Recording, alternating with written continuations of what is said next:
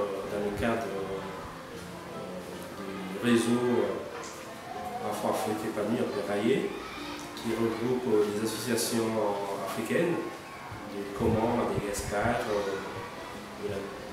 du Burkina Faso, du Bénin et de la Côte d'Ivoire. Chaque année, nous rencontrons dans un des pays membres l'association pour partager, pour échanger. Aujourd'hui, cette année, c'est la, la Belle qui a l'honneur de nous accueillir, euh, nous, Maïcha, et l'association Azad de, de On a visité euh, le centre pédagogique euh, bibliothèque de l'école de Gali et également le centre touristique Côté Solidaire.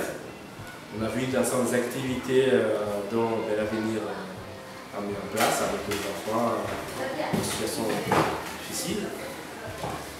C'est superbe, donc, ça fait chaud au cœur le fait de donner le sujet aux enfants, aux enfants en difficulté, mais aussi euh, leur famille. On a visité euh, les centres environnementaux auquel il y a beaucoup euh, d'expérimentation euh,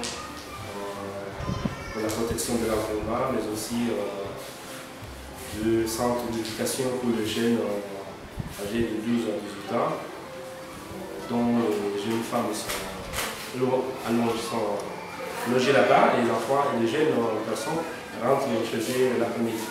Ils apprennent tout ce qui est à protéger sur l'éducation de l'environnement, mais aussi sur des, ils apprennent aussi des métiers, ce qui est une bonne chose parce qu'après les enfants, une fois qu'ils quittent le centre, ils peuvent après trouver euh, à s'insérer socialement et trouver du travail.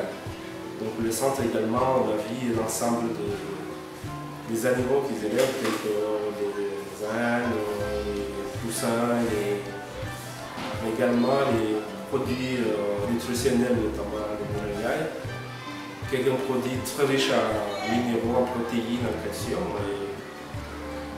Nous, parmi euh, l'objectif de notre visite ici, c'est de pouvoir euh, échanger sur euh, cette expérience d'utilisation du produit moringa en tant que produit nutritionnel, puisque Maïcha a des écoles auxquelles on fait la cantine. On voulait améliorer la, qualité de la cantine.